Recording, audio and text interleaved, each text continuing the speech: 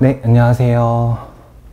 네, 이번에 2차 시험 보느라 진짜 수고 너무너무 많으셨고, 그래서 이제 시험이 끝났으니까 이제 어떻게 출제가 됐었는지, 그리고 개인적으로 생각했을 때 조금 강사랑 수험생분들이랑 다른 점은 그 강사를 시작하게 되면은 이제 채점을 해보게 돼요. 저는 이제 2년 차로 돼서 이제 두 시즌을 한 번 해가지고 그 강의를 했던 이제 59개의 변리사인데 그 채점을 하면서 이제 생각보다 사람들이 이 부분에서 놓치는구나 생각보다 이런 부분에서 변별이 나는구나 라는 거를 느꼈던 것들이 되게 많아요. 그래서 이번 문제가 그 난이도가 사실 조금 쉬웠다라고 얘기가 되는데 그래도 제가 변별이 날 포인트들은 몇 가지 분명히 있거든요. 이게 마냥 쉽지만 않았다고 생각이 됩니다. 그래서 그거 한번 이제 정리해 드리고 출제됐던 문제랑 한번 비교를 해 드리겠습니다.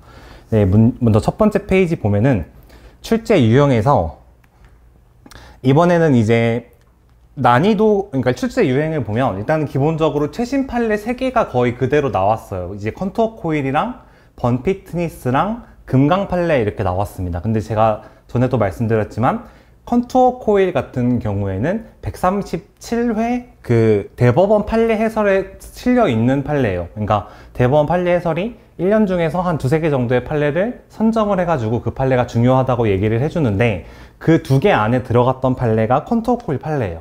그리고 하반기 판례가 이번에 두 개가 이제 또 나왔었는데 그 중 하나가 이게 번 피트니스 판례였습니다. 그러니까 그냥 대법원 판례 해설에서 두 개가 그냥 그대로 나온 거예요.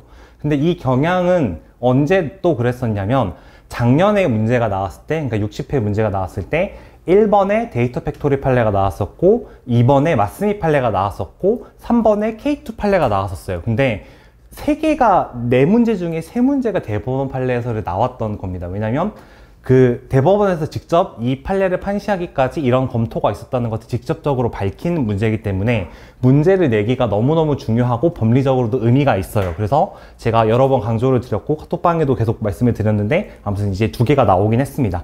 그래서 이걸 일단 알아두시면 되고 그 다음에 이제 크라운진 판례가 나왔어요. 근데 크라운진 판례 같은 경우에는 조금 지난 문제죠. 근데 이 판례가 55회에 문제 4번에 나왔었는데 그 이후로 이제 5년이 조금 넘었거든요. 근데 이 경향도 조금 알아두시면 좋은 게 한 번 나왔던 판례가 정면적으로 다시 나오는 경우는 좀 짧은 텀에는 없어요. 그게 왜 그러냐면 교수님들이 이제 문제를 분석을 하실 때 그 산인공 측에서 한 5개년 정도의 기출 문제는 준다고 해요. 그래서 너무 겹치는 문제는 내지 말아달라고 따로 부탁을 하기 때문에 5년이 지난 거부터는 어느 정도 보실 필요가 있습니다. 그래서 이, 그 크라운 진 판례 같은 경우에는 저도 GS에 냈었고 그래서 이제 나왔던 거라고 이제 생각을 하시면 될 것 같아요. 그리고 이제 또 한 가지만 또 알아두시면 좋은 게 이게 크라운 진 판례 같은 경우에는 그 유사 판단을 하는 부분이 있어요. 그래서 이 부분 같은 경우에 답 틀리신 분도 생각보다 많거든요. 제가 얘기를 들어보면. 그래서 이따가 좀 설명을 드리도록 하겠습니다. 그래서 이제 난이도를 보면 일단은 그 난이도를 낮추는 요소 중에 가장 큰 게 문제 사실관계가 다른 기출에 비해서 조금 짧았어요. 사실관계를 복잡하게 주지는 않았습니다.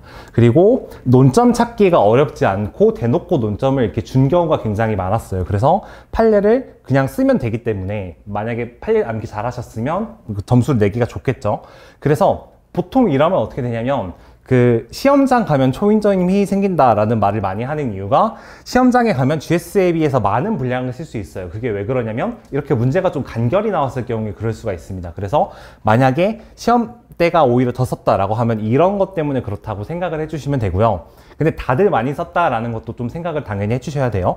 근데 난이도를 높이는 요소가 뭐가 있냐면 제가 그 이거는 정확히 저는 검토해 보진 않았는데 제가 들었을 때 특허법 문제가 좀 상당히 어려웠거든요. 그렇기 때문에 이게 사, 생각보다 이런 게 데미지를 입혀요. 문제를 난해하게 해석하게 되고 그때 이제 손압을 되게 많이 썼기 때문에 좀 아무래도 다음 문제를 풀 때 조금 영향이 있죠 컨디션에 그래서 그런 게 조금 영향이 있다고 저는 생각이 되고 아 그리고 약간 좀 특이한 점이 네 문제가 나왔을 때 보통 한 문제나 두 문제 정도는 표장을 동일하게 냈었어요. 예를 들어서 60회를 보면은 뭐가 나왔었죠? 데이터 팩토리 판례가 표장이 똑같이 나왔어요. 그쵸? 근데 이번에 같은 경우에는 네 문제가 전부 다 표장을 다 바꾸거나 XY로 치환해서 나왔습니다. 그래서 생각보다 이게 그 어떤 GS 같은 경우에는 문제를 풀다 보면 그 판례에 있던 표장을 그대로 넣는 경우가 굉장히 많아요. 그래서 너무 연습이 안 되신 분들이라면 그것 때문에 조금 고생을 하셨을 수 있기 때문에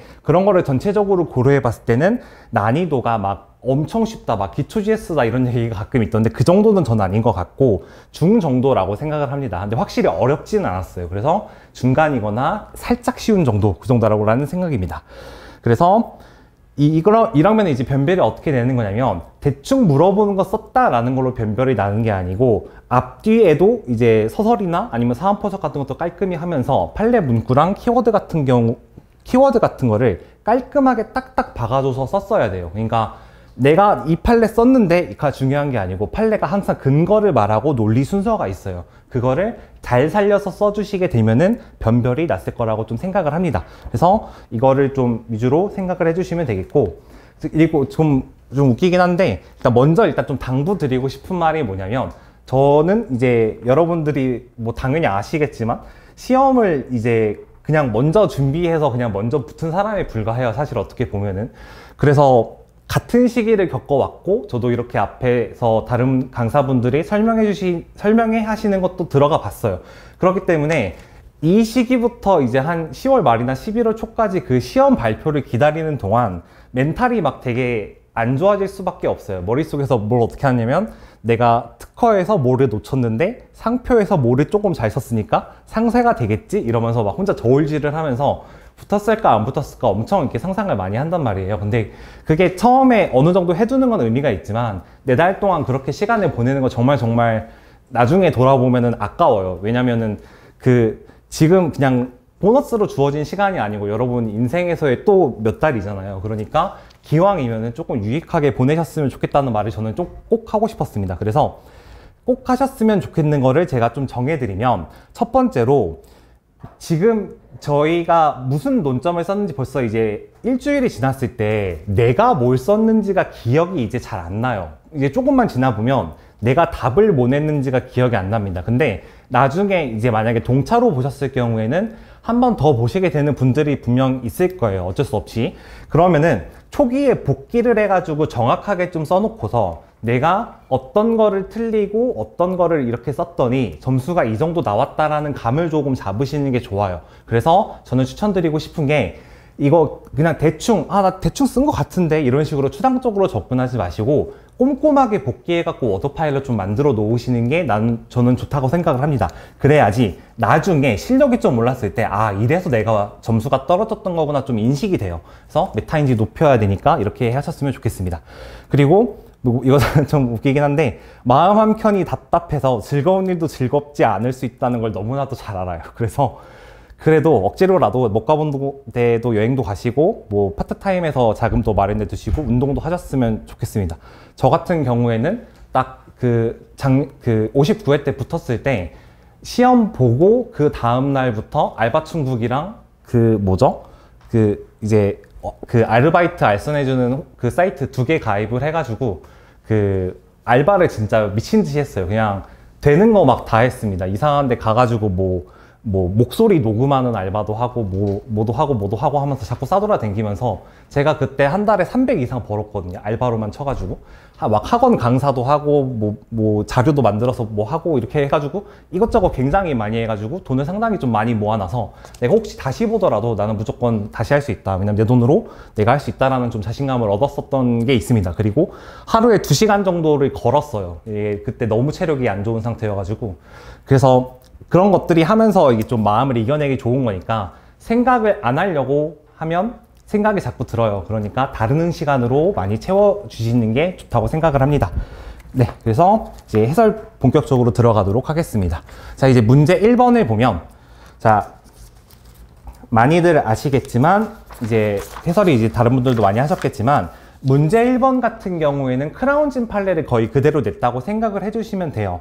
그래서 그 상황에서 이제 등록 상표를 등록받은 자가 상표를 사용하고 있지 않은데 이제 여러 가지 표장 형태로 상표를 사용하는 을이 있는 상황에서 이제 손해배상 청구랑 침해가 되는지 이런 논점이 됐습니다. 자, 그래서 이거를 봤을 때 일단 처음에 좀 나오는 게 뭐냐면 애니진 애니뷰티라고 했을 때 이제 식별력이 좀 애매해요. 왜냐면은 그러니까 판단을 보신 적이 없었을 가능성이 굉장히 많아요. 왜냐면 이거는 이게 고등법원에서 판시가 끝나고 대법원에서 고등법원에서 잘못 판단한 게 없다라는 식으로 결론이 났던 부분이기 때문에 이 부분에 대해서 사안포섭이 지금 대법원에 없을 거예요. 그렇기 때문에 잘 모르실 수가 있습니다. 그래서 좀만 보면은 자 표장1과 표장2가 침해인지 여부에 대해서 판단하시오 이렇게 나왔어요. 자 근데 한 번만 다시 생각을 해보면 60회 문제 1번에 데이터 팩토리 판례가 나왔었는데 거기서 이제 유사 판단을 요구를 했어요. 그런데 그 그때도 문제가 똑같았는데 대법원에서는 고등법원에서의 판단이 타당하다라는 결론만 나와 있고 고등법원을 들어가 봐야 데이터 팩토리에 대한 유사 판단이 자세히 나와 있습니다. 그게 구조가 똑같이 나온 거예요. 이번에, 이번에도 대법원에서는 나오지 않고 고등법원을 열어봐야지 나오는 판례가 나왔다고 생각을 해주시면 돼요. 그래서 이거에 대해서 생각보다 크라운진 판례를 아신다고 해도 답 맞추기가 쉽지가 않을 수가 있어요. 자, 그래서 실사용 표장 1번 같은 경우에는 그러니까, 그러니까 표장 1 같은 경우에는 실사용 표장 1을 변형해서 낸 거라고 생각을 하시면 돼요. 크라운진 and 크라운 뷰티를 애니진 and 애니 뷰티로 바뀐 겁니다. 근데 이거는 유사라는 결론이 나왔고 그 실사용 표장 4 같은 경우에는 MSG 밑에 주 크라운진으로 나온 건데 MK진으로 해서 주 애니진으로 해서 이제 구조만 바꿔서 낸 거예요. 그래서 이 결론을 따라가셔야 돼요. 자, 여기서 이제 질문이 되게 많이 들어왔던 게 뭐냐면 이게 비유사 아니냐라는 질문을 저는 좀 많이 받았거든요. 그런데 잘 생각해 보시면 어떻게 돼야 되냐면 문제를 내실 때 교수님들도, 다, 교수님들도 당연히 의도한 답이라는 게 있어요. 자, 상표법은 이렇게 판단을 해보면 판단이 애매하니까 항상 소송이 있고 그런 거겠죠. 수학처럼 딱딱 떨어지지가 않는단 말이에요. 그래서 어떻게 본다고 하면 비유사해서 비유사하다고 볼 여지가 있겠죠. 오인혼동 우려가 없다고. 근데 하지만 실제 결론은 그런 거고 그거에 따른 법리를 써야지 이게 자연스럽게 되기 때문에 여기서는 유사라고 그 결론을 맞추지 못하셨으면은 좀 크리티컬하다고 생각을 하시면 됩니다. 여기서 약간 여기서 변별이 좀 날 수 있다라고 생각을 해요. 자, 그래서 조금 생각을 해보시면 자, 일단은 이렇게 되는 거예요. 자, 여, 여기서 이제 질문이 많이 들어왔던 부분이 뭐냐면 MOU 판례를 써도 되냐라는 거가 제가 받았던 질문 중에 하나예요. 그게 뭐냐면 MOU 판례 같은 경우에는 상표의 구성 전부를 봤을 때 요구라고 할 만한 것이 없다면 전체로서 대비해야 된다라는 법리를 설시를 해요. 그렇기 때문에 크라운 진이나 크라운 뷰티나 이게 비슷한 거기 때문에 이게 식별력의 우열이 딱히 없다. 그러니까 요부가 없으므로 전체랑 애니진을 비교하면 비유사하다라고 가야 되는 거 아닌가라고 저한테 질문이 왔었어요. 근데 여기서 한 번만 제가 포인트를 짚어드리면 MOU 같은 경우에는 잘 생각해 보시면 구성이 어떻게 되어 있냐면 MOU 존 존이라고 써 있어요. 그래서 거기서 식별력의 우열이 없는 이유가 뭐냐면 관념이 파악이 안 돼서 그래요. MOU도 관념이 없고 존도 관념이 딱히 없고 존도 관념이 딱히 없잖아요. 하지만 여기 같은 경우에는 미용업에다가 출원을 했는데 크라운 뷰티라고 되고 크라운 진이라고 되기 때문에 식별력이 쉽게 파악이 되고 여기서는 뷰티가 그 미용업에 대해서는 식별력이 낮고 진은 식별력이 상대적으로 높아요. 그렇기 때문에 식별력의 우열이 생기는 경우입니다. 그렇기 때문에 MOU 판례로 접근하시는 것은 좋지 않고 이거는 이거를 요부로 뽑으셨어야 된다고 생각을 해요. 그리고 한글을 보통 이제 그냥 이렇게 영문으로 바꾼 정도는 호칭관념이 똑같기 때문에 보통 유사로 갑니다. 그렇기 때문에 이거는 유사라는 결론을 맞추셨어야 돼요. 이거는 못 맞추셨으면은 논리적으로 쓰면은 당연히 점수가 가요. 그러니까 이거는 일단 아셔야 돼요. 논리적으로 쓰시면은 생각 뭐 0점 맞고 이런 게 아니에요. 그 잘못 썼다 그래서. 하지만 이거는 딱 그렇게 요부관세 법리를 쓰고 둘의 그 식별력을 비교한 다음에 판단하셨어야지 좋다고 생각하시면 됩니다. 그래서 드린 프린트 중에서 이제 5페이지를 보면 사안 포섭에서 디테일이 어떻게 되냐가 굉장히 중요해요. 5페이지에서 사안의 경우를 보면은 이 and를 고려했을 때, 그러니까 이제 판례가 판시하는 사안 포섭의 흐름을 논리를 살려서 써주셔야 돼요. 처음에 뭐냐면 판례는 항상 구성을 확정을 합니다. and가 있는 걸 봤을 때 사람들은 이걸 어떻게 인식할 거냐면 애니 진과 애니 뷰티가 결합한 것으로 인식할 거다라고 이렇게 해서 두 구성으로 나눠줘요. 그런 다음에 애니 진은 이게 유전자로 인식되고 얘는 아름다움으로 인식되니까 식별력이 상대적으로 낮다. 이렇게 각각의 식별력을 판단한 뒤 비교하는 순서가 나와야 됩니다. 이거 이해되시죠? 다시 한번 말씀드리면 구성을 제대로 딱 정리를 해주고 식별력을 인식되는 관념이 뭔지를 딱딱 파악해 준 다음에 마지막에 식별력의 우열을 비교해 줘서 얘가 요부다라는 순서가 딱딱딱딱 나와야 돼요. 그래서 이게 그냥 애니진이 요부다라고 갔으면 점수가 높을 수가 없는 거예요. 그런 데서 약간 디테일 차이가 나는 겁니다. 근데 아까 말씀드렸지만 그게 고법에만 지금 있기 때문에 그 고법에도 사실 자세히 나와 있진 않아요. 그렇기 때문에 이게 쓰기가 굉장히 어렵다고 생각하시면 됩니다. 네, 그래서 아무튼 이거 유사라는 결론 맞춰주셔야 되고 자 밑에 같은 경우에는 MK진이라는 게 나와요. 자 MK진이라는 게 나오는데 주 애니진으로 나왔어요. 근데 여기서 이제 조금 헷갈리실 수 있는 부분이 옴네스 판례가 있어요. 옴네스 판례는 뭐냐면 주식회사 옴네스라고 되어 있는데 거기서 주식회사 부분을 빼고 썼을 경우에는 그 회사 명칭의 약칭에 불과하니까 널리 알려진 약칭이어야지 효력 제한이 될 수 있다는 법리가 나와요. 근데 그거랑 혼동하시는 분들이 이거를 채점해 보면 가끔 있단 말이에요. 주식회사를 주로 쓴 거는 이건 지금 분명히 회사의 종류를 표시한 상황이에요. 그렇기 때문에 옴네스 판례를 막 길게 쓰시면서 설명하실 일이 전혀 없습니다. 그렇기 때문에 이거는 어떻게 접근하셔야 되는 거냐면 그냥 지금 자기 회사 명칭을 상거래 관행에 따라 쓴 거예요. 주식회사를 주로 쓰는 건 상거래 관행에 따라 쓴 겁니다. 그렇기 때문에 이거를 효력 제한을 하셔야 돼요.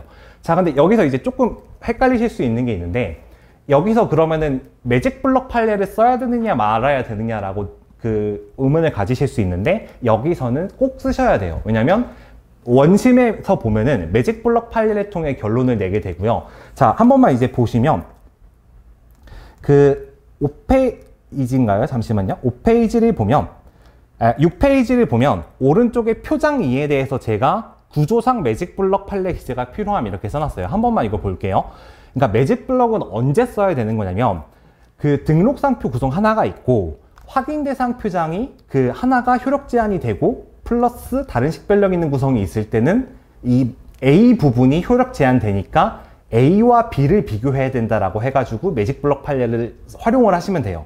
근데 문제 출제 사안은 A라고 해서 식별력이 없는 건 아니지만 그 부분에 효력이 제한이 되잖아요. 그렇기 때문에 K를 제외시켜야 되는 법리를 사용해야 돼서 지금 이제 요부관찰 법리가 아니고 그 매직 블럭 법리를 써서 K를 이렇게 지워버리고 B로 판단하는 사안입니다. 이거랑 구별하셔야 되는 게 뭐냐면 요부관찰로 접근을 할 때는 겹치는 부분은 있지만 이제 다른 부분이 요부로 파악될 때 이럴 때는 요부 관찰 법리를 쓰시는 거예요. 그래서 구조를 이렇게 비교를 해보시면 지금은 매직 블럭 법리를 쓰셔야 돼요. 이해되시죠? 그렇기 때문에 지금 이게 배점이 충분하단 말이에요. 그래서 순서가 어떻게 나와야 되는 거냐면 왼쪽에 5페이지에 보시면 일단은 인터넷에 사용을 했으니까 상표적 사용에 대해서 16년도 9월 1일자 시행법으로 설명을 해주시고 결합상표 일부분에도 효력 제한이 될 수 있다는 효력 제한이 먼저 나와야 돼요. 자, 한 번만 다시 설명을 드리면 매직 블럭 판례는 결합상표에서 분리인식 가능한 일부분이 그 부분에도 상표권의 효력이 미치지 않을 수 있다라고 이렇게 설치를 해준 다음에 이런 경우에는 그 부분을 제외하고 나머지 부분으로 권리범위 속보 판단을 해야 된다라고 설치를 해주고 있어요. 그럼 거기서 말하는 게 뭐냐면 효력 제한이 되는 부분이 일부분이 있을 때 그 부분을 제외하고 나머지로 유, 권리범위 속보 판단, 즉 유사 판단을 한다는 거예요. 그러면 제한 여부를 먼저 쓰시고 나머지로 유사 판단을 하셔야 돼요. 이 순서도 지켜졌는지가 중요합니다. 그래서 매직 블럭 판례를 쓰실 때 두 가지가 있는 거예요. 일부가 효력 제한이 될 수 있다는 거 하나, 그리고 그 부분을 제외하고 속보 판단한다는 판단 방법 하나. 이 판례 두 개가 다 들어가야 됩니다. 그래서 이런 거 좀 디테일을 챙겨 주셔야 돼요. 그래서 생각보다 지금 소, 설문 1번부터 이거 쓰기가 쉽지가 않아요. 이거 디테일한 게 좀 많았으니까 잘 이해해 쓰셨으면 좋겠습니다. 네, 그래서 이거를 설명을 드렸고 자 이제 문제 1에 소설문 2번을 냈어요. 자 이거는 사실관계가 뭐냐면 이것도 크라운진 판례에 그대로 있는 사실관계예요. 갑은 상표권을 설정 등록 받고서 지정상품에 사용을 하고 있지 않다라고 하고서 109조랑 111조로 손해배상 청구하면 인용 가능성이 있는지로 8점짜리로 물어봤어요. 근데 이게 그 기출이 되었는데 어, 또 나왔다라고 이렇게 분석이 되는데 저는 이제 개인적으로는 이거는 기출이 안 된 스타일이라고 생각을 하거든요. 문제 스타일을 그래도 좀 봐주셨으면 좋겠는 게 저 나도 나, 그 저도 나름 이제 어필을 해야 돼서 제 이거는 기출이 됐나 안 됐나 좀 생각을 해보시면 크라운진 판례가 기출이 됐을 때 55회 때 나왔는데 110조 사항에 대해서만 물어봤어요. 근데 크라운진 판례 실제를 가보면 111조가 분명히 나옵니다.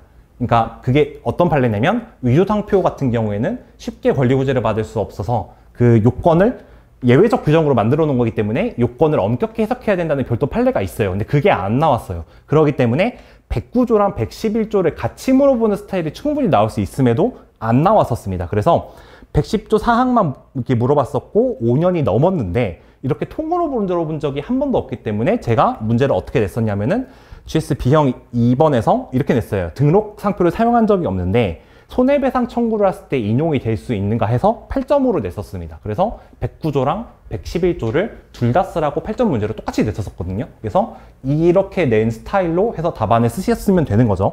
근데 여기서 그러면 쓰실 때 어떻게 쓰셔야 되는 거냐면 그 109조에 대해서 청구를 했을 때는 110조에 대한 설명이 필요해요. 그리고 111조에 대한 설명이 필요해요. 여기서 꼭 들어야, 들어가야 되는 거는 뭐냐면 이제 9페이지를 보면 이제 제가 써놨습니다. 일단은 손해배상 청구에 대한 기본적인 설명이 나와야 돼요. 배점이 충분하기 때문에. 그래서 이게 먼저 설명을 드리면 민법상 불법 행위로 인한 손해배상 청구가 상표법에 도입이 된 게 109조예요. 그래서 그 109조에서 고, 고의가 있고 그러니까 위법행위 즉 침해가 있고 손해가 있고 그 손해와 위법행위 간의 인과관계가 있어야 되는데 여기서의 손해액 산정은 110조로 하는 거기 때문에 110조가 이제 문제가 됩니다. 근데 여기서 그러면 이제 110조를 쭉 다 검토를 해야 되는데 110조 사항만 쓰신 분들이 이제 굉장히 많을 거예요. 근데 기출 이거 제가 GS에서 냈을 때도 어떻게 냈었냐면 110조 1항이랑 3항도 이제 그 설명을 간단히 하실 수 있, 고 여기서는 이거를 써주시는 게 전 좋다고 생각을 해요. 110조 1항 같은 경우에는 그러니까 상대방 때문에 내가 팔고 있던 수량의 양도 수량 감소가 생겼다라고 되어 있어요. 그렇기 때문에 법 규정 성질상 양도를 하고 있는 상태를 전제로 하고 있기 때문에 상표를 전혀 사용하고 있지 않은 경우에는 110조 1항이 생길 그 규정 성질상 적용이 될 수 없습니다. 그리고 110조 3항 같은 경우에는 매출액 감소액을 지금 산정하는 거기 때문에 원래 매출액이 전혀 없는 상태에서는 산정을 할 수가 없어요. 그리고 그 밑에 이제 5항인가요? 5항을 보면은 그 손해가 발생한 건 인정이 되는데 자료가 없는 경우라고 이렇게 한정이 되어 있기 때문에 그런 상황이 아니라면 적용이 될 수 없습니다. 그래서 그런 것들을 나머지를 간결히 쳐주고서 110조 사항을 깊게 써주시는 게 맞다고 전 생각을 해요. 그래서 그렇게 써, 그렇게 디테일하게 1, 2점이 차이가 나는 거죠. 자, 그러면 110조 사항을 쓸 때도 이거 결론은 다들 아실 거예요. 이 경우에는 그 손, 손해가 발생했다고 볼 수 없다라고 되어 있는데 이거 채점을 해보면 항상 그 판례 하나만 쓰시는 분들이 굉장히 많은데 판례는 논리 구조가 두 가지로 되어 있어요. 첫 번째가 뭐냐면 손해가 불발생할 수 있는지 그러니까 손해 불발생 항변이라는 게 가능한지 안 가능한지를 먼저 말해주고 두 번째로 9페이지 중단이에요. 지금 뭐, 두 번째가 뭐냐면 손해 불발생 항변 사유 중에 등록 상표를 불사용한 게 포함되는가 이렇게 논리를 두 가지로 끊어서 말해서 이 두 가지를 다 써주셔야 됩니다. 그래서 손해불발생 항변이 가능하다. 근데 불사용은 손해불발생 항변 사유 중 하나다. 이렇게 두 가지가 논리가 딱딱 끊어서 나왔어야 됩니다. 그래서 이게 안 들어가면은 이제 아무래도 자연스럽지가 않죠. 그리고 이 안에 들어있는 논거도 굉장히 설명을 잘 해주셔야 됩니다.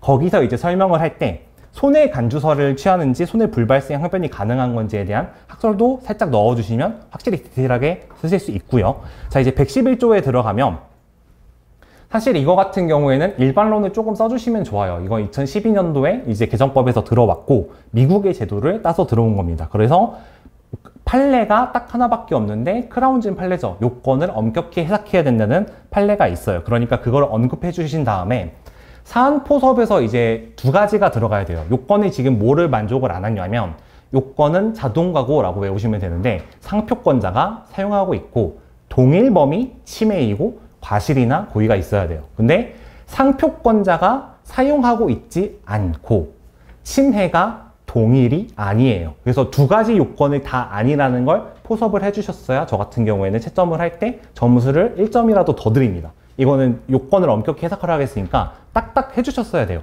그래서 그거를 잘 하셨는지 거기서 이제 디테일 차이가 난다고 생각을 해주시면 됩니다. 이렇게 보시면 되고 자 이제 문제 3번 같은 경우에는 상표권 침해 주장에 대해서 상표권 행사가 권리남용이라고 주장을 하고 있대요. 그래서 여기서는 결국 뭘 물어보냐면 무효 사유와 취소 사유가 있는 경우에 권리 남용이 적용이 될 수 있는지에 대한 대법원 판례를 중심으로 설명하시고 8점 이렇게 나왔어요. 여기서 물어보고 싶은 게 뭐냐면 저희 기출 문제 중에 이제 스타일 중에 하나가 뭐냐면 어떤 논점에 대해서 횡적으로 물어보는 문제가 종종 나와요. 예를 들어서 58회인가요? 상표의 사용에 관한 규정을 모두 설명하시오 이런 식으로 나왔어요. 그러면 한 쟁점을 파서 하는 게 아니고 그거에 관련된 거를 약간 횡적으로 딱딱딱 책 한 권을 스캔하는 식으로 써야 되는 말이에요. 근데 권리 남용이 출제는 많이 됐는데 이런 식으로 출제가 된 적이 한 번도 없었어요. 그래서 제가 이거 같은 경우에는 그 실전 B에서 끝날 때 제가 단문을 4개를 찍어 드렸는데 그 중에서 하나를 이걸 그냥 찍어 드렸어요. 권리 남용은 지금 많이 나오긴 했는데 횡적으로 물어본 적이 없다. 그러니까 단문식으로 권리 남용 다 쓰세요. 이런 식으로. 그래서 근데 이게 논문이 있어요. 정태호 교수님이 논문을 쓰신 게 있고 그렇게 횡적 단문이 있기 때문에 채점하기도 너무 좋단 말이에요. 그래서 이거는 암기를 하라고 제가 찝어드렸던 논점 중에 하나입니다. 그래서 이거 같은 경우에는 정확히 딱 쓰셨어야 돼요. 그래서 약간 답안을 보면 대부분의 분들이 이거 쓸만한 거 다 썼을 거란 말이에요. 그러면은 여기서는 이 여기에 들어가는 판례 4개가 빠지면 절대 안 된다고 생각을 해주시면 돼요. 기본적으로 무효 사유가 있는 경우, 취소 사유가 있는 경우가 있는데 그 둘의 차이점을 내가 이해하고 있다는 걸 서술을 해주시면 좋아요. 그래서 플러스 알파로 좀 쓰시면 되는 게 뭐냐면 이런 단문형 문제에서는 문제점을 열어줄 때 지금 이게 권리 남용에 대해서 잘 아냐를 물어보고 있는 거잖아요. 그러면 시작이 뭐죠? 그 상표권도 사건이에요. 그러니까 민법상 권리 남용에 관한 법리가 적용이 가능하다 해서 민법으로부터 시작을 하고 상표법 고유 법리에 대해서 설명을 해줘야 되는데 무효 사유가 명백한 경우랑 취소 사유가 있는 경우는 결론이 달라요. 근데 그게 왜 그런 거냐면 117조 3항과 119조 6항의 차이 때문에 그래요. 이거는 장래효와 소고표 차이 때문에 그렇기 때문에 그 관점에서 살짝 터치를 해주셨으면 좋은 답안이 될 수 있을 거라고 생각을 합니다. 그래서 판례를 썼어도 이런 조문도 잘 터치를 했는지 그리고 이 밑에 있는 나머지에 대해서도 터치를 해줬는지 이런 게 좀 변별이 나는 거라고 생각을 해주시면 됩니다. 자 그럼 이제 정리를 좀 해보면 문제 1번이 지금 설명을 드렸지만 이거 다 쓰셨는지 잘 생각해 보세요. 저 이거를 처음에 잘 생각해 보셔야 돼요. 아, 나 분명히 대충 잘 썼는데 라고 생각하시면 안 되고 하나하나 포인트를 잘 썼는지. 그래서 이게 점수가 거기서 갈립니다. 1, 2점씩. 자, 그래서 문제 1번 같은 경우에는 소설문 1번 같은 경우에는 고등법원 판례로 나왔고 소설문 2번, 3번 같은 경우에 아까 말씀드렸지만 GS에서 이제 그대로 나왔던 논점이라고 생각을 해주시면 돼요. 자, 그래서 문제 2번으로 들어가도록 하겠습니다. 자, 이제 문제 2번 같은 경우에 보면 컨투어 코일 판례를 냈어요. 근데 아까 제가 말씀드렸지만 대법원 판례에서 137호에 실려 있는 판례예요. 이거는 뭐냐면 거래 서류에 표시를 하고서 이제 그 납품서 같은 거를 거래 상대방에게 주었을 때 이때 이제 태클을 어떤 식으로 건 거냐면 거래 서류를 상대방에게 주었다는 것 사정, 사정만으로는 그 2조 1항 11호 다목에 그 상품에 관한 광고 등을 상표를 표시하고서 전시하거나 널리 알려야 된다라고 되어 있는데 방금 거래 상대방에게만 줬는데 널리 알린 거라고 볼 수 없지 않나요? 라는 태클이 들어왔던 거예요. 그래서 이거는 거래 서류라는 거에만 너무 집착하시면 안 되고 전시하고 널리 알렸냐에서 특히 널리 알려진 것에 대한 범위에 대해서 설명을 해주셔야 돼요. 그래서 대법원 판례에서는 이거를 뭐에 대해서 설명을 하는 거냐면 널리 알려진 것에 대해서 그 어떻게 해석하는지에 대해서 특허법과 그리고 타법에 대해서 소개를 하면서 그 문구의 해석에 대해서 자꾸 설명을 해요. 그래서 불특정인이 그걸 인식할 수 있는 상태에 놓이면 충분하다고 했지 막 다수인이 알 수 있는 상태에 놓이고 그럴 필요는 없다라고 봤어요. 그러, 그러기 때문에 그 문구가 정리되어서 특허 부분에서 뭐라고 나왔냐면 상품에 관한 거래 과정에서 그 거래 상대방에게 교부한 것도 다목에 해당한다라고 봤기 때문에 거래 서류에 꽂히시면 안 되고 널리 알렸다 이거를 좀 focusing을 해서 써주셔야 돼요. 그래서 그것도 디테일이 조금 차이가 나겠죠. 그래서 이제 해설을 보면 자, 이거는 이제 소설문 1번이랑 그 소설문 1번을 볼게요. 근데 이거는 아까 그 제가 말씀드렸지만 그 아, 아 소설문 1번 같은 경우에는 어떻게 되는 거냐면 그 이제 불복할 수 어떤 거에 대해서 이제 불복할 수 있는지에 대, 해서 되어 있죠. 그러면 이제 논점이 이제 15페이지에 설명이 드린 대로 나옵니다. 15페이지를 보면 15페이지 좌측에 이제 예시 답안을 해봤어요. 그러면 일단은 심결이 타당한지 안 타당한지부터 먼저 판단을 할 수 있어요. 이거 순서는 바뀌셔도 상관이 없을 것 같아요. 결국에 조치는 심결 취소 소송밖에 없습니다. 그래서 불사취를 해야 되는데 여기서 범위가 뭐가 있는 거냐면 인적 범위가 있고 그리고 등록상표 사용에 대한 게 있고 표장이 동일성 범위인지가 되어 있어요. 그래서 세 가지를 다 터치를 해주셨어야 돼요. 그래서 사용한 게 지금 의리 사용을 했기 때문에 그 사람도 독점적 통상 사용권자도 그 사용권자로 볼 수 있기 때문에 별도로 등록이 필요 없잖아요. 그래서 그 사람의 실적을 고려할 수 있다는 거 터치, 인적 범위 하나. 그리고 거래 서류를 상대방에게 교부한 게 등록 상표의 사용에 포함되는지에 대해서 하나 써주시고서 범위가 등록 상표를 사용이라고 문구가 나와요. 119조 1항 3호에 보면 상표를 동일한 상표를 사용할 것이라고 절대 나오지 않고 등록 상표의 사용을 판례가 해석을 해주는데 그게 등록 상표 자체를 사용하는 것과 등록 상표와 사회통념상 동일한 상표 사용하는 것까지만 포함한다라고 말을 해줍니다. 그렇기 때문에 여기서 거래통념상 동일하다는 건 그 판례에 의할 때 포함된다. 이런 식으로 말해 주셔야 돼요. 그래서 논리 순서가 법조문에서 해석이 문제가 되는데 판례는 범위를 유사는 안 되지만 자체와 통동까지는 된다 그랬다. 근데 지금 통동이니까 등록상표 동일 범위 맞다. 이렇게 써주셔야 되는 거예요. 이거 이해되시죠? 그래서 이거를 그냥 사통동이니까 그냥 된다라고 써주시면 안 되고 그것까지 잘, 잘 들어갔어야 됩니다. 그래서 대응 조치는 심결 취소 소송이죠. 그래서 플러스 알파로 이럴 때 굳이 쓰실 수 있는 게 뭐냐면 뭐 심취소 기간에 놓쳤을 때 추후 보완할 수 있다 뭐 이런 걸 할 수 있겠죠.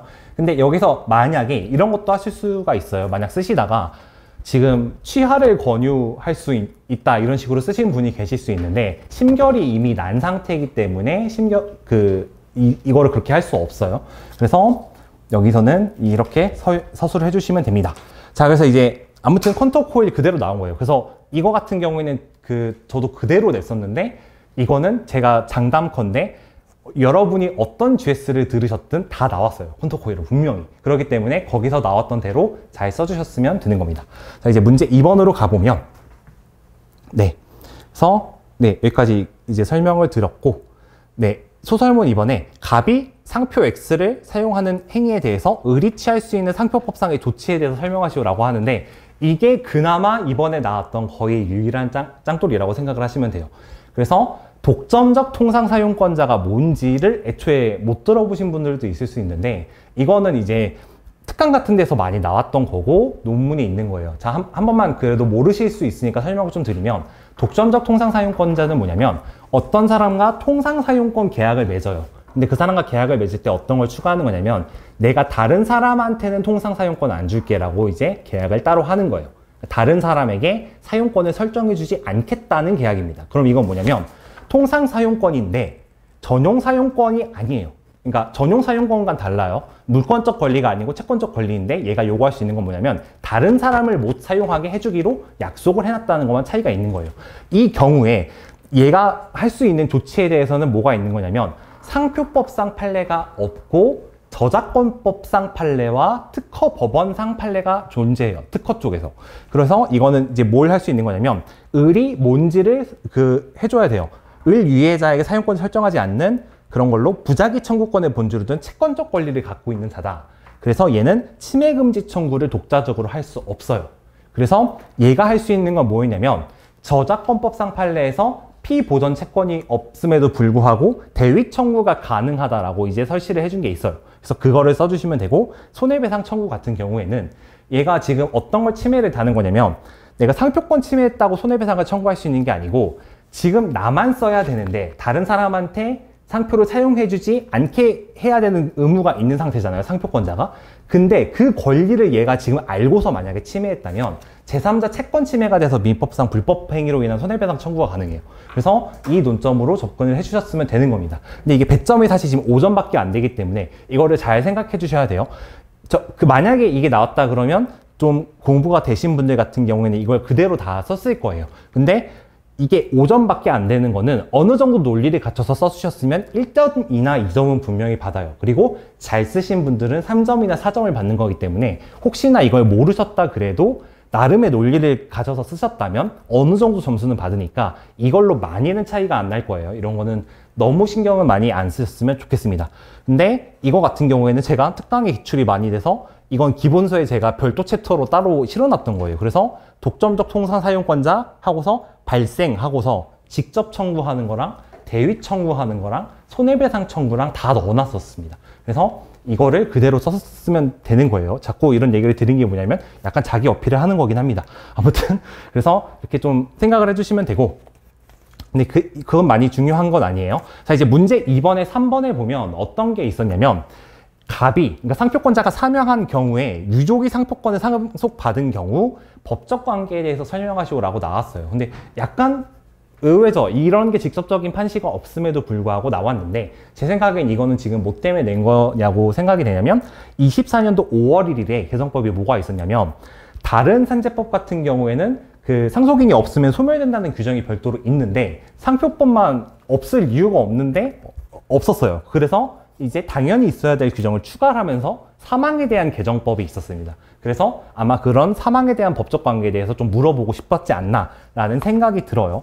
그래서 이거를 좀 생각을 해보시면 자 이제 18페이지를 좀 볼게요. 근데 이게 이런 식으로 되어 있는 거에 대해서 그 교수님의 의도가 굉장히 캐치하기가 어려울 수가 있어요. 그래서 제 생각을 조금 넣어놨는데 자 18페이지를 보면 일단은 정은 뭐냐면 일단은 지위에 대해서 정이 뭐가 되는지 그리고 정과 병의 관계, 정과 을의 관계 이렇게 세 가지를 나눌 수 있어요. 정의 지위는 뭐냐면 일단 일반 승계예요. 그런 다음에 이제 개정법을 좀 쓰실 필요, 가 있는데 106조에서 1항이 있고 2항이 있죠. 이거를 둘 다 좀 쓰면서 신고를 해야 된다. 이거를 꼭 써주셔야 돼요.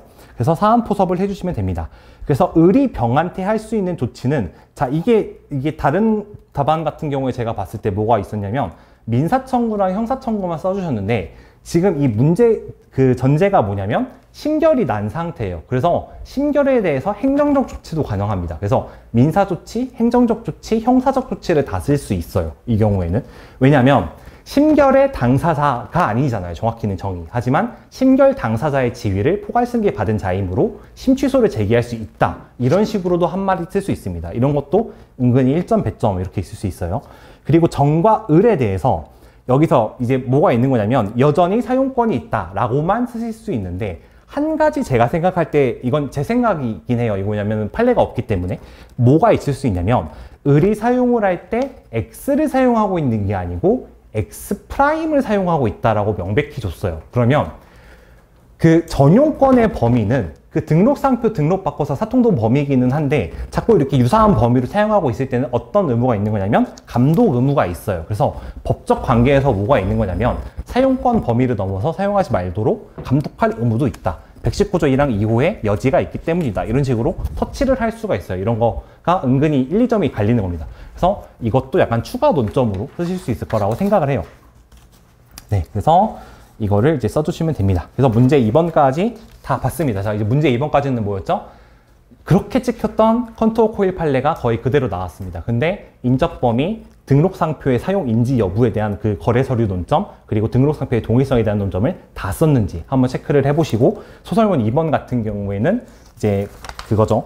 그 이제 짱돌 문제이긴 했지만 그래도 나름의 답을 썼으면 됩니다. 근데 이거는 짱돌인데 5점이기 때문에 별로 크리티컬하지 않아요. 이게 15점이면 좀 크지만 그리고 소설문 3번 같은 경우에는 이게 약간 의도를 알 수 없잖아요. 이럴 때는 최대한 다각적으로 써야 돼요. 그래서 제가 말씀드린 것처럼 그 사용을 감독할 의무도 있다. 이런 식으로도 써줄 수 있습니다. 왜냐하면 등록상표를 변형해서 사용하고 있다는 사정관계를 별도로 줬기 때문에 그래서 이렇게 쓰실 수 있다고 생각을 하시면 됩니다. 그래서 이게 여기서 빼트린 게 뭔지를 잘 보시면 됩니다. 네, 그래서 이제 문제 3번에 소설문 1번, 소설문 2번을 보면 이것도 표장을 변형해서 나왔죠.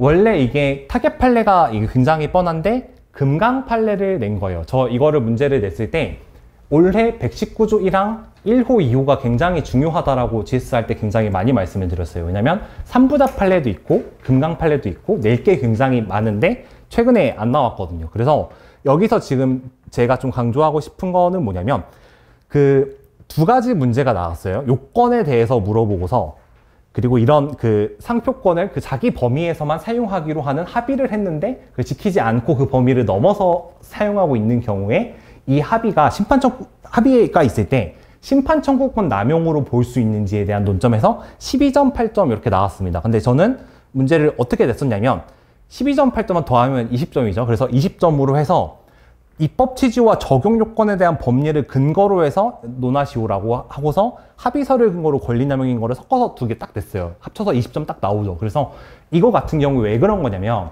금강 판례를 쭉 읽어보면 이제 119조 1항 1호 같은 경우에는 거기 뭐가 있죠? 권고요 출품이 있어요. 요건들이. 근데 이 문제를 풀, 풀어낼 때 요건에 대해서 다 쓸 말이 있어요. 그 상표권자인지 고의가 사실상 추정되는지 등록상표와 유사한 범위 사용인지에 대해서 다 쓸 말이 있기 때문에 있습니다. 그렇기 때문에 이 문제를 낼 때는 요건에 대해서 물어보면서 물어보기가 굉장히 좋다라고 생각을 해서 이거를 합쳐서 낸 건데 이거 좀 그대로 나와서 좀 깜짝 놀랐어요. 배점도 똑같죠. 그래서 합의서랑 적용요건 이렇게 냈던 거라고 생각을 하시면 됩니다. 그래서 이거 같은 경우에 제가 채점해 드릴 때 진짜 뭐를 되게 신경 썼냐면 이게 심판 청구권 남용이 아닌 이유에 대해서 설시를 하기 위해서 119조 1항 1호의 취지를 길게 설시를 하고 거기서 이제 논거를 취지를 딱딱 밝히면서 말해요. 그래서 채점을 할 때 저는 논거를 썼는지 안 썼는지로 이렇게 갈랐어요. 이게 다 썼는지 안 썼는지로. 그래서 쓰실 때 어떻게 쓰셔야 되는 거냐면 이게 청구가 권리 남용인지에 대해서 일단 심판 청구권에 대한 얘기이므로 뭘 쓰실 수 있냐면 심판 청구인은 다섯 글자니까 109조 5장, 5항이다 맨날 이렇게 말씀드렸는데 일단 누구든지 청구할 수 있는 거 맞는데 지금 합의를 해서 문제된다 이런 식으로 조문을 끌어서 쓰시면 조금 더 있어 보이긴 하겠죠 살짝 디테일하게 그래서 논거가 지금 두 가지가 있었어요 실제 판례 사안에서 양수인한테 미치지 않는다라는 게 있었고 그리고 오인운동 우려가 커지는 경우에까지 미친다고 보기 어렵다. 그런데 이거의 전제가 뭐냐면 취지예요. 그래서 이거는 그 취지까지 잘 써주셨는지를 잘 보셔야 됩니다. 그래서 약간 차이가 나요. 이런 거에서는. 그래서 20점짜리 문제이기 때문에 여기서는 논거 하나 나가면 아까 그 5점짜리에서 제대로 썼는지 안 썼는지 해봤자 1, 2점 차이인데 여기서 논거랑 판례 같은 거 제대로 안 쓰시면 은 2, 3점이 날라가고 결론도 틀리시면 은 3, 4점이 사실 나이가 차이가 나는 거예요. 그러니까 중요한 문제는 사실 이런 거라고 좀 접근을 해주시면 됩니다. 그래서 제가 아까도 말씀드렸지만 올해 하셔야 되는 것 중에 하나가 뭐라고 했냐면 지금 하시면서 내가 뭘 틀렸었는지 이거를 잘 좀 보라고 해, 말씀을 드렸잖아요. 그걸 보고서 피드백을 잘 해주셔야 됩니다. 네, 그래서 이렇게 됐다고 생각을 해주시면 돼요. 네, 그래서 아무튼 이렇게 보시면 되고 자 이제 소설문 3번에 가보면 이제 그 이제 을에게 은산을 그 시계 제품에 한정해서 등록하는 것에 동의하기로 합의했다라고 되어 있어요. 그래서 인산에 등록할 수 있는지 논하시오라고 되어 있습니다. 그럼 이건 뭐냐면 그 후발 주자한테 상표를 등록받아도 된다고 동의를 해준 상황이에요. 그러면 이게 뭐냐면 34조 1항 7호에서 공존동의제 개정법에 대해서 나온 거죠. 그래서 저, 저도 그랬고 사실 뭐 이거는 모든 GS에 다 나왔을 텐데 공존 동의제는 올해 엄청 엄청 중요했어요. 그래서 제가 그 기계적으로 알라고 했었던, 말씀드렸던 게 뭐냐면 34조 1항 7호에서 실수하기 좋은 논점이 여러 개가 있어요. 하나가 뭐냐면 인용상표가 취소 사유가 있는 경우에도 심결 취소의 근거가 될 수 있다는 별도 판례가 있어요. 불사용하고 있어도.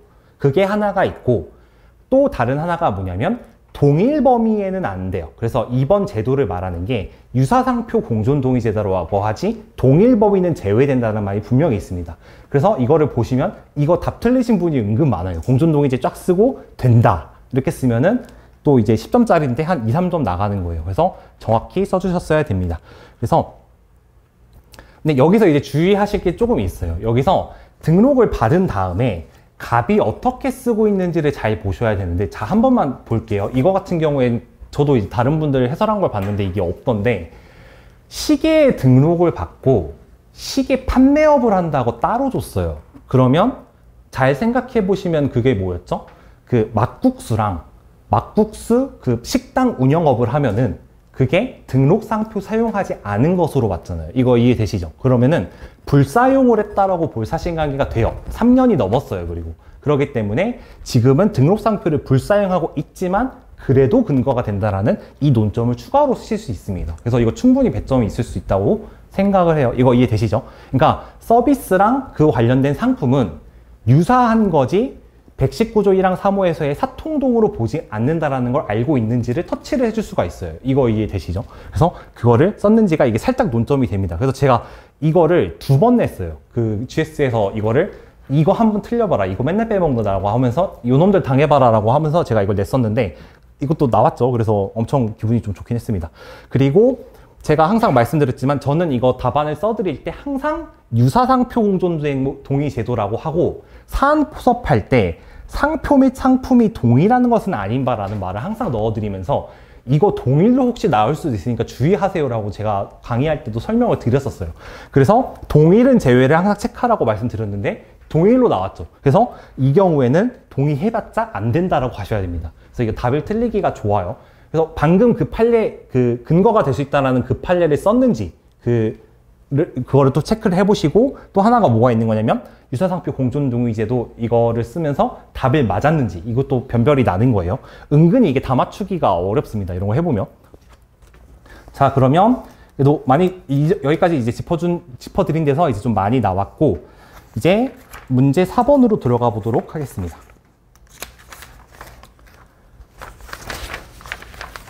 자, 이제 문제 4번 같은 경우에는 뭐가 나왔냐면 번 피트니스 판례인데 스프링 피트니스 판례로 변경해서 냈어요. 근데 이제 여기서 보면은 이거 가지고 얘기가 좀 많이 있는 것 같던데 이거는 답이 제 생각에는 달라질 게 없습니다. 판례 그대로 따라가시면 되는 문제예요. 자, 그래서 그 제가 이거를 설명드릴 때는 어떻게 설명을 드렸었냐면 문제사의 소설문 1번에 보면은 이제 어떻게 되어 있는 거냐면 그 번 피트니스가 있고 그 그러니까 스프링 피트니스가 있고 스프링이 있어요. 사용상표 1, 2가 있는데 여기서 이제 비유사다라고 그 주장을 하는 거죠. 식별력이 없다라고 주장하는 거. 그게 타당한지를 논하시오라고 되어 있는데 피트니스 같은 경우에는 그 상품에 대해서 서비스의 내용에 대해서 바로 직감을 시키는 거기 때문에 식별력이 없어요. 근데 여기서 번 같은 경우에 어떻게 되는 거였냐면 그게 운동을 하면은 칼로리를 태운다라는 의미가 될 수 있어서 운동을 운동으로 넘어가고 운동은 칼로리를 태운다라고 연상작용을 거쳐야 돼요. 그래서 어떻게 되는 거냐면 직감이랑 연상이랑 어떻게 되는 암시 강조랑 어떻게 다른 거냐면 연상작용을 몇 번 거쳐서 거기에 도달해야 되는지로 판단을 하는 건데 칼로리를 태운다, 지방을 연소시킨다라는 의미가 되는 번으로 가려면 거기서 운동 서비스를 제공하고 운동을 하면은 내가 에너지를 써서 그 에너지를 쓰는데 그거를 에너지를 태운다라고 표현을 하니까 번이랑 관련이 있는데 그렇게 가려면 몇 번 뛰어넘어서 가야 되죠. 그래서 이거는 암시 강조 정도 되는 것이 식별력이 없다라고 볼 수가 없습니다. 자, 그래서 여기서 이제 중요한 게 뭐냐면 여기서 특이한 거는 뭐냐, 뭐였냐고 제가 이제 설명을 드렸었냐면 한쪽은 식별력이 없고 한쪽은 식별력이 낮아요. 그러면 여기서 이제 제가 답 채점을 할 때 어떤 표현을 쓰신 분들이 있었냐면 그 이제 포섭을 하실 때 이렇게 하는 게 있어요. 얘가 식별력이 강한 바, 얘가 식, 그, 그러니까 얘는 식별력이 강한 바, 얘가 요부다. 이런 식으로 쓰시는 분이 있는데 항상 어떻게 쓰셔야 되는 거냐면 각각의 구성에 대해서 식별력 판단을 하시고 비교를 하셔야 돼요. 데이터 팩토리 그거에서도 옆에 있던 그 C자 도형은 식별력이 없고 데이터 팩토리도 사실 식별력이 강하지 않거든요. 근데 요부가 돼요. 이거 이해되시죠? 그러니까 식별력이 약해도 요부가 될 수 있다는 걸 분명히 언급을 해주셔야 돼요. 이거 이해되시죠? 그래서 피트니스와 번에 대해서 각각 판단을 하고 거기서 식별력이 낮지만 얘가 그래도 요부가 된다는 걸 캐치를 반드시 해주셨어야 됩니다. 그래서 여기서 이제 뭘 써주셔야 되는 거냐면 그 자생초 판례에서 판단 기준이 있죠. 요구를 결정하는 기준이 있는데 주지 저명한지 강한 인상을 주는지 전체 상표에서 비중이 높은지 뭐 상대적 식별력과 뭐 결합 정도 이렇게 나와요. 거기서 어떤 문제죠? 상대적 식별력이라는 걸 좀 염두를 해주시고서 그거를 제대로 설명을 해주셨어야 돼요. 그래서 그 과정을 여기서는 이제 바꿔서 낸 거잖아요. 스프링이 운동을 할 때 통통 튀기는 거죠. 운동 서비스를 제공하면 운동에는 여러 가지 그 행위들이 있을 텐데 스프링처럼 통통 튀기는 것도 있을 테니까 스프링이 연상될 수도 있어요. 근데 그거는 몇 번 거쳐서 가는 거기 때문에 번이랑 구조가 거의 같다라고 볼 수 있어요. 그래서 그 의도에 맞게 스프링에 대해서 의미를 연상작용이 된다라는 그거를 써주고 피트니스는 바로 직감된다는 걸 써준 다음에 비교를 해서 요부를 뽑아주셨어야 됩니다. 이거 이해되시죠? 그래서 식별력에 대한 이렇게 판단을 해주시면 됩니다. 그래서 이거는 이게 은근히 쓰기가 좀 어려울 수가 있어요. 그래서 바꿨다고 해서 이거를 헷갈리시면 안 됩니다. 이- 거 같은 경우에는 범피트니스 판례가 그 6월인가요? 6월에 138호 대법원 판례 해설에 그 번 피트니스가 실렸었어요. 그래서 이거는 제가 엄청 찍어드렸고 그 그래서 나왔다고 생각을 해주시면 됩니다. 근데 이거는 안 나온 GS가 없어요. 100% 이건 다 나왔기 때문에 큰 의미는 없긴 합니다. 네, 그래서 이제 다음 거를 보시면 문제사의 소설문 2번이 나왔어요. 자, 그래서 전체로서 이제 식별력이 있는데 여기서 효력 제한이 되는지 안 되는지 하면 이건 그냥 그 피트니스 그 문제를 그냥 그대로 낸 거죠. 그러면은 이거는 어떻게 써주셔야 되는 거냐면 이제 그 사례를 설명을 해주셔야 돼요. 자, 한, 네, 여기서 어떤 거를 좀, 좀 주의를 해주셔야 되는 거냐면 상호를 등록받고 어떻게 하고 있는 거죠? 영문으로 표현해서 쓰고 있어요.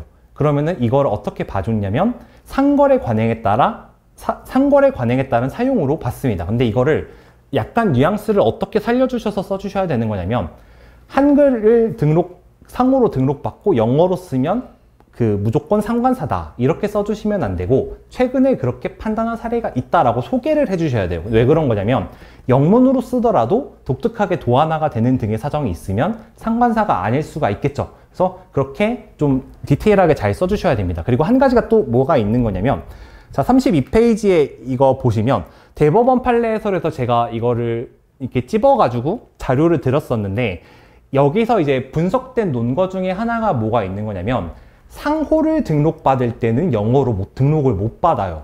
한글로 등록을 받아야 돼요. 그렇기 때문에 한글로 등록을 당연히 받을 수밖에 없는데 영어를 아예 못 쓰게 하는 건 또 말이 안 되잖아요. 그렇기 때문에 상관사의 그 근거 중 하나로 상호는 그 한글로만 등록받을 수 있다. 이런 게 언급이 돼요.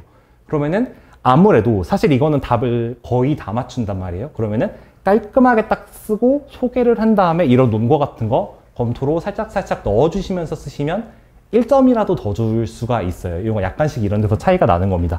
그래서 이런 걸로 좀 변별을 내주셨어야 돼요. 자, 그래서 32페이지까지 이제 설명을 들었죠. 그래서 33페이지 가면은 그 법만 쓴 거는 안 되고, 스프, 그러니까 스프링만 쓴 거면 안 되고, 나머지는 그 효력 제한 된다. 이거는 이제 굉장히 쉬운 논점이라고 생각을 해주시면 됩니다.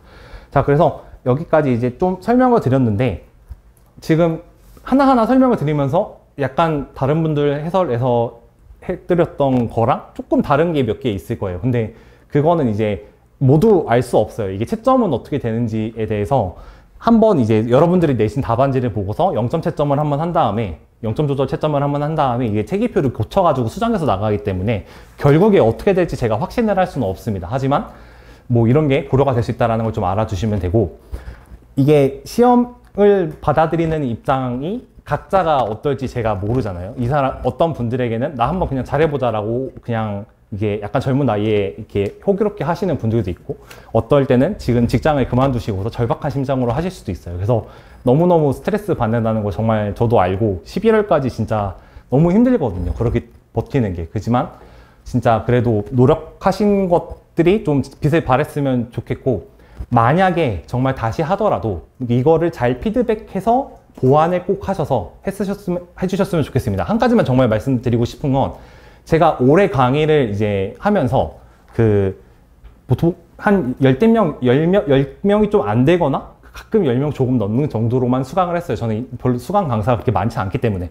근데 설명을 드릴 때 계속 어떻게 했냐면 실전 GS A, B를 에 나오는 거는 제가 최근에 기출문제집도 냈잖아요. 그러니까 안 나온 게 뭔지를 되게 나, 나름대로 연구를 많이 했단 말이에요. 그래서 지금 보면은 그 비슷한 게 되게 많이 나왔잖아요. 근데 잘 한번 정말 생각해 봐 주세요. 이게 스타일까지 이렇게 겹치게 나오는 거는 진짜 저도 생각을 많이 해서 냈고 그렇게 내기가 좋기 때문에 그랬던 건데 정말 다 그렇게 나왔잖아요. 그러니까 실전 GS A, B만 통으로 다 외웠어도 이거 정말 다 쓸 수 있었어요. 그러니까 이거를 준비를 할 때 혹시라도 내년에 본다고 해도 이거를 반드시 생각을 해주셔야 돼요.